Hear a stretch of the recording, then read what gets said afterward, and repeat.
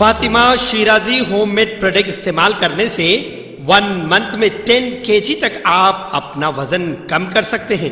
Golden heads colony pillar number 213 Rajendra Nagar Hyderabad. अस्सलाम वालेकुम नाज़रीन आए हैं आज की एक अहम खबर पर। आज की हमारी ये अहम खबर है बीजेपी की तर्जुमान नूपुर शर्मा को लेकर, जो कि गुस्ताख रसूल है। उसने बड़ी ही बदतमीज़ी से हमारे नबी करीम सल्लल्लाहु अलैहि वसल्लम की शान में गुस्ताखी की थी, जिसको अब सज़ा मिलना शुरू हो चुकी है। ये तो सिर्फ़ शुरुआत है, अब आके आके देखिए होता है क्या। वहीं पर जब बीजेपी पार्टी ने इसको पार्टी से सस्पेंड किया है, बात उसके A I M I M party के सुप्रीमो और हैदराबाद के M P barrister Asaduddin Owaisi ने भी अपनी नाराज़गी का इजहार किया है। उन्होंने ये कहा कि मेरे कहने के बाद, हमारे हरकत में आने के बाद बीजेपी ने कोई एक्शन नहीं लिया था। जब गल्फ कंट्रीज़ इस बात को लेकर अपनी नाराज़गी जताई, उसके बाद बीजेपी पार्टी ने जो है हरकत में आते हुए नूपुर शर्मा को सस्पेंड किया है। इस तरह से कहना है असदुद्दीन अवैसी का। यानी सीधा सीधा नाराज़गी जताई असदुद्दीन अवैसी ने कि इनकी बात को नहीं सुनकर गल्फ कंट्रीज़ की बात को सुनकर नूपुर शर्मा को सस्पेंड किया गया।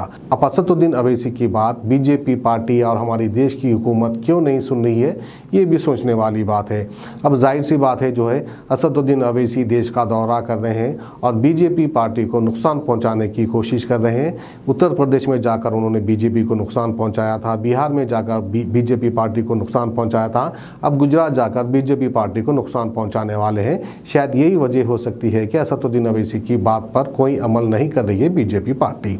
तो आइए नाजिन, बीजेपी की तर्जुमान नुपुर शर्मा को लेकर एक तफसीली रिपोर्ट हमने आपके लिए तैयार की है, जिसकी तफसीत हम आपको बताते चले। बीजेपी के सबक तर्जुमान नुपुर शर्मा और नवीन जिंदाल के पैगंबर इस्लाम के खिलाफ रिमार्क्स पर गल्फ कंट्रीज़ ने सख्त रद्द अमल का इजहार किया है। और ये एक ऐसे वक्त में आया है जब इंडिया के वाइस प्रेसिडेंट वेंकैया नायडू ने हाई लेवल डेलीगेट्स के साथ खतर का चार रोजा दौरा शुरू किया है। पैगंबर इस्लाम के खिलाफ किए गए रिमार्क से नाराज़ खतर की वजारत खर्जा ने हिंदुस्तान सफीर दीपक मित्तल को तलब किया और इन्हें जिंदाल के रिमार्क पर मायूसी का इजहार करते हुए एक सरकारी नोट सौंपा। वजारत ने कहा कि हम हिंदुस्तान में हुक्मरान जमात के एक अहदेदार की तरफ़ से पैगंबर इस्लाम के खिलाफ किए गए मुतनाज़ रिमास की मजम्मत करते हैं। वजारत ने मजीद कहा कि खतर ने बीजेपी के जारी करदा बयान का इस्तेबाल किया, जिसमें इसने अहदेदार को पार्टी से हटाने का ऐलान किया था। और दूसरी जानब इधर कोविड के वजारत खर्जा ने हिंदुस्तानी सफ़ीर को तलब किया और assistant secretary of state for Asian affairs की तरफ़ से एक सरकारी एहतजाजी नोट हवाले किया, जिसमें कोविद ने पैगंबर इस्लाम के खिलाफ बीजेपी लीडर्स के रिमाज की मजम्मत की और उनको मुस्तरद कर दिया। इसके चंद घंटे बाद ईरान ने भी हिंदुस्तानी सफ़ीर को तलब करके पैगंबर इस्लाम के खिलाफ किए गए रिमाज की मजम्मत की और फिर ओमान ने सख्त अल्फाज में मजम्मत की है। जबकि सऊदी अरब और बहरीन ने इन रिमार्क की सख्त अल्फाज में मजम्मत की है। वाजे रहे, बीजेपी ने पार्टी तर्जुमा नुपुर शर्मा को सस्पेंड कर दिया है, जबकि इसके दिल्ली मीडिया के हेड नवीन कुमार जिंदल को उनके इस्तियाल अंगेज रिमार्क के लिए पार्टी से निकाल दिया है। BJP general secretary Arun Singh ने कहा कि बीजेपी ऐसे लोगों या ऐसे नज़रिया को फ़रोग नहीं देती। वाजे रहे इन गल्फ कंट्रीज़ में बीजेपी लीडर्स के रिमार्क्स के खिलाफ ट्विटर पर इंडियन प्रोडक्ट्स के बाइकआउट का हैशटैग ट्रेंड कर रहा है। जिसके बाद वहाँ की हुकूमत ने इस मामले का सख्ती से नोटिस लिया। तो आई नाजिन अब जो है आया ऊँट पहाड़ के नीचे। दूसरी जानब पार्टी की जानब से की गई कार्रवाई के बाद नूपुर शर्मा ने ट्वीट किया और कहा कि, मैं अपना बयान वापस लेती हूँ, आया ऊँट पहाड़ के नीचे। मेरा मकसद किसी को तकलीफ़ देना नहीं था।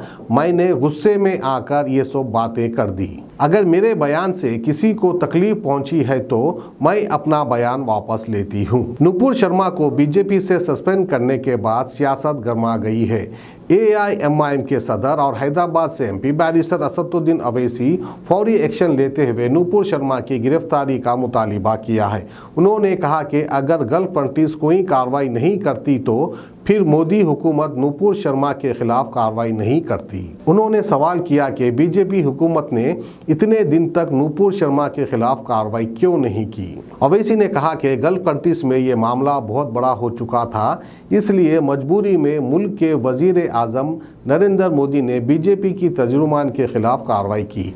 अवैसी ने कहा कि सिर्फ़ अरब ममालिक के कहने पर कार्रवाई क्यों? ये कार्रवाई दस दिन पहले होनी चाहिए थी। उन्होंने कहा कि आप बाहर के ममालिक के लीडर्स को खुश करना चाहते हैं। आप उनकी हालात को समझते हो। आप हमारी हालात नहीं समझते। अवैसी ने मोदी हुकूमत के अलावा अपोजिशन पर भी हमला किया। अवैसी ने अपोजिशन पार्टियों पर खामोश रहने का इल्ज़ाम लगाया। उन्होंने कहा कि इस मामले में नाम निहा सेकुलर पार्टियों के मुँह में दही जम गया था। सिर्फ़ हम बोल रहे थे, नाम निहा सेकुलर पार्टियाँ कल रात अचानक हरकत में आ गई। क्यों आ गई, ये भी एक सवाल उठता है।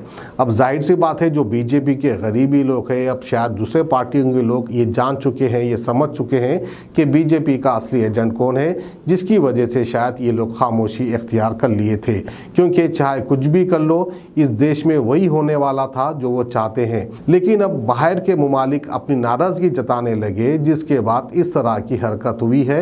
नूपुर शर्मा को पार्टी से सस्पेंड किया गया है। अब अवेसी के कहने पर नूपुर शर्मा को अरेस्ट किया जाएगा या नहीं किया जाएगा, आने वाला वक्त बताएगा। तो ये थी हमारी आज की खसूसी खबर और चलते चलते हम आपको थोड़े शॉर्ट्स दिखाते हैं कि गल्फ कंट्रीज़ में किस तरह से इंडियन प्रोडक्ट्स को बैन किया गया, वो चीज़ों को किस तरह से जो है उन लोग ने सीज कर दिया, उसके चंद नज़ारे हम आपको दिखाते हैं।